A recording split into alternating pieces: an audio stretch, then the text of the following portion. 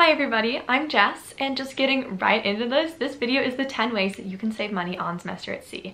And I've made videos like this in the past, I've talked all about money things, but this one is just going to be a succinct list of 10 ways that you can actually save a lot of money on the ship.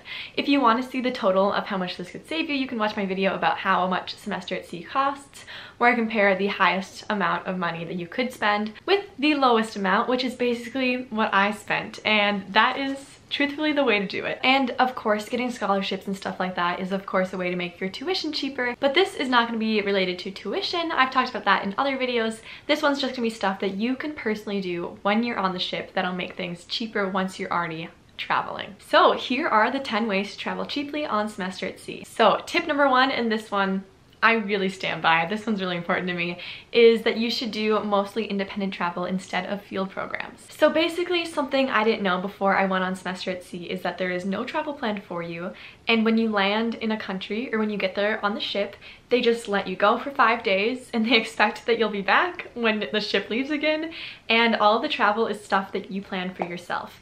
And at first this really freaked me out and made me super nervous and I didn't know how to do anything but once I got on the ship and met some friends we all planned it together and it was way more fun and we got to really do the things that we wanted to in each country because we were planning it for ourselves. And it also, it wasn't that hard and it was way less expensive than doing the field programs offered by the ship. So a field program which is the other option, is something that is planned by the ship that can either be day trips or they can be overnight trips as well. But it is basically things that are led by people on the ship or like touring companies within that country and it'll all be planned out for you. And while I think you should definitely look through the list of field programs on the website once you sign up for your voyage and see if there's any really interesting ones or ones you definitely want to do, I would say that if you plan all of your travel this way, you're gonna be really disappointed because some of your other friends will be like, we're getting an Airbnb and we really want you to come with us. And if you can't go with them, that's just gonna be so sad. Like if you feel like you're trapped because you already paid for the field programs ahead of time, you're gonna feel so left out, which is not how you wanna feel. Also, just money-wise, independent travel can save you so much money because field programs for a day trip, they're usually um, mm, 150 to like $300 that you pay to the ship. And with $300, you could do a lot more. I feel like I spent that much maximum in like in a country for the entire five days, which is crazy to think that it's just like an eight hour sort of thing that you'd spend that much money for. The same thing goes for the overnight field programs. A lot of people do these because they sound really cool and they are really cool. It's like staying overnight in like the Saharan desert and like riding camels or going on other really fun overnights. And if you want to do this, then by all means do it, but I'm just telling you that it will be like, I don't know, 2,000 to $3,000 for four days where you could really just like spend $300 total or less to travel for the same amount of time and do the same, basically the same stuff. So if it sounds really fun and you feel like you're gonna miss out, then you should definitely do the overnight trips but if you want to save some money, that is not a thing that I would recommend doing. So that is all I'm gonna say on that. If you wanna know more about the differences between independent travel and field programs, I've made a whole video about that that you can go watch after this one. Okay, tip number two. This one is about when you actually get into the countries. So every time you get to a new country, you're gonna need to go to an ATM and get some currency out of it for the local place where you are. And if you're in Europe for the first part of it, a lot of it's in euros. So that might be easier and you can get some like before you leave even. If you go to a bank near you, you can usually exchange euros like in the United States because it's a more popular currency. But if you're going somewhere like Morocco or Ghana, they probably don't have that currency like in the United States banks waiting for you. So you're gonna definitely need to get more when you get to the countries. And the way that you're gonna save money with this, there are two things actually. The first one is that you're gonna take out a set amount of money every time you get to a country. So maybe the first time you get to an ATM, you take out $50 of that local currency or you take out $100 of that local currency. And then depending on what amount you set, it could be more than that too, but then you just tell yourself like you're really gonna try not to take out any more. So this is really helpful if you're shopping for like souvenirs or something and you see a lot of stuff and you feel like the need to buy things just because they're there. And if you don't have enough local currency to do it, then you might actually stop and think and be like, do I really need this thing that I'm looking at? Like, will I love this when I get home? Or would it be better to save my money and do more like traveling things while we're out and about? And then if it is worth it to you, of course you can go to an ATM and take out more money. But if it's not, then it will stop you and make you think before you start overspending. The second part of this tip is that you don't want any leftover money when you're leaving a country and that's why it's good to take out a small-ish amount when you get there, try to use it all and then not try to take out a ton more because if you leave a country, like if you left Morocco and you still had the Moroccan currency with you, it's hard to exchange it back in the United States as well. Like you probably just won't be able to. And then that's wasted money basically. Like yeah, it's cool or like pretty to have those bills with you sometimes as like a souvenir, I guess. But that's just like money in a different country that you can't use for the next travels that you go on. So if you're gonna have a ton left over, that is not what you wanna do. So something that I did when I was traveling with my friends is that like we would all take out a set amount right away. And if I used more of mine, then sometimes they would pay for my stuff on the last day if they had extra money just so they wouldn't have leftover when we left that country. And then I would just like Venmo them back. So just generally be smart about ATMs and all of that because you don't wanna have leftover money and you don't wanna overspend in cash. The third way to travel cheaply on semester at sea is to not take planes when you arrive in a country. A lot of people did this. I don't want to say like a ton of people, but there was a fair amount of people who we would arrive on the ship to the port somewhere that they had never been before in a whole new country and it'd be so cool and fun. And then they would get on a plane and leave the port city and go somewhere like the capital inland. And that is a fine thing to do. Like I'm not bashing that by any means. I just didn't want to spend the money for plane tickets when I just arrived on the ship and I could see things either closer to the port or closer to the water or I could take a bus or a train for way, way, way, way cheaper and get to see the same places. So that is actually like one of my number one tips is to do cheaper transportation if you can. I have a whole video about how to find transportation in different countries because it is a little complicated if it's all in different languages, but I successfully did it multiple times. I think I took two trains and a lot of buses. So that is definitely a way that you can save hundreds of dollars every time you get to a new country. Tip number four for traveling cheaply is to stay in Airbnbs and hostels instead of hotels overnight off the ship. This is getting repetitive, but I've made a whole video about this too. I'm just gonna link all the videos that are relevant for this in the description box below. But Airbnbs and hostels are like a lifesaver when you're traveling internationally. First of all, they are way cheaper than they are in the US. I stayed in a bunch of hostels for like 10 to $15 per night and that is so inexpensive. And they had sometimes like free breakfasts, free towels, free pools you could use. You could meet a lot of people. There were bars included within them. It was so, so cool.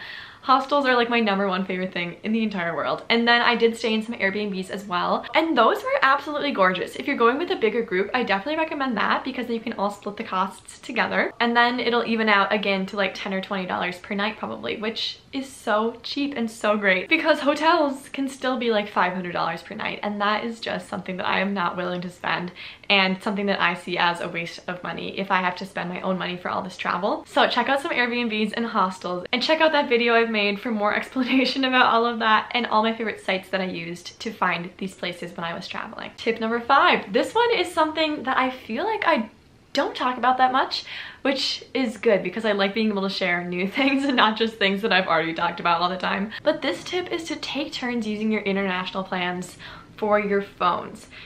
So I know that everyone's gonna want to turn them on on the first day and like talk to their family and check social media and stuff like that. But the thing is with most international plans, it costs like $10 a day to turn them on. And really aside from like talking to my family and friends on the phone and texting people or posting things on Instagram, I didn't use like the internet that much when I was in the countries except for like maps, if that makes sense. I did a lot more just like photo taking with my phone, using it as a camera instead of like an internet sort of thing. So if you want to save that money on your international plan, you can just use yours one day and ask your friend to like turn theirs on the next day and have that person navigate you guys around the city with the maps on your phone. And that is just like one of the simplest ways I can think of to take like $10 off of your price tag of traveling each and every day that you're doing it. So although your friends might want to use Instagram the whole time they're in the countries, and that is totally fine, you can always bring this up and see if they'd want to take turns doing the international plan so you don't have to have yours on all the time. Tip number six is to get smart souvenirs. So there are going to be a ton of things that you see that you're gonna want to bring home with you and you're gonna be like, wow, those are so cool. However, I caution you from doing this, or not from doing this, get whatever souvenirs you want, but think about which ones are going to be most meaningful, which ones will last the longest, and which ones make like the best gifts and aren't just going to like sit around in your room. So some things that I really like as souvenirs are like jewelry items, like earrings are really great because you can wear them all the time. People be like, I love your earrings. And you'll be like, thanks, they're from my semester abroad. And that is just something you'll actually wear or use. And I have like some dresses from my semester at sea, which I think are cool because I still wear them. So it's stuff that I use instead of just things that sit there. Also, I got my family and my brothers a lot of like food items and candies and stuff because I thought that those were fun. And again, they were things that they could use and wouldn't just sit there. So I know I got my brother like some olive oil from Croatia and he loves cooking so that was like a great gift for him. And additionally, none of the stuff is like super expensive, which is also really great. And my number one favorite set of souvenirs that I got on Semester at Sea was the least expensive. And it was a postcard or two from every country and then I put them up on my wall as like a display of all the places that I went and it's like wall art now. And it's so cool to look at all of them and I would always try to find some sort of vintage style and really colorful postcards postcards every time I went and like as I was going I was like picturing them all together and it just looked so good. So those are all like 25 cents to 50 cents so it's like less than a dollar every time you get a postcard and you can get handmade ones from like artists in each place you go supporting them. So postcards are an amazing way to save some money and to also get some good memories from every single place that you go. Tip number seven for traveling cheaply is to bring water with you every time you get off the ship because this might be common knowledge, I don't know, but a lot of countries outside of Europe, you can't actually drink the water there without it upsetting your stomach just because there are different, I don't know, bacterias in them or microbes that your stomach isn't used to. So it's really gonna upset your stomach if you do drink that water. So if you bring a water bottle with you every time you get off the ship, then you won't have to deal with searching for water, buying new plastic ones and all of that. You can just carry the water with you and not have to buy new things. Additionally, this is a good idea in Europe as well, even though you can drink that water. Uh, a lot of places, unlike in the United States, don't actually give you free water at the restaurants that you go to. So they're gonna give you a bottle of water when you ask for water. So that'll make your bill at different restaurants higher actually as well. So if you bring your water regardless of where you're going or a water bottle, you will always be saving some money. Tip number eight relates to the tip that I just talked about, and this is actually to bring some snacks with you as well because you never know when you're gonna be starving. And if you bring a huge pack of granola bars from like Costco or something, maybe not that many, but if you bring like a pack that you bought for cheaper in the United States, then you don't have to constantly be buying new snacks every time that you're really hungry. And it'll also save you some stress and probably keep your relationships happier with your friends when you're traveling because you won't be hangry and that is all we can ask for. Tip number nine is one more food related one and that is to share food with a group of friends. I don't mean you always have to share entrees even though I liked doing that because then you get to try new things but I mean if you're like walking by a street vendor and they have something you want to try you can always have one of your friends buy it and then you all get to try something new without wasting your money or wasting your appetite even and then later on when you get to another thing you want to try then maybe you can buy it and share with everyone and and that is really just like my favorite tip for how to not overspend on food and how to still try like everything you want to.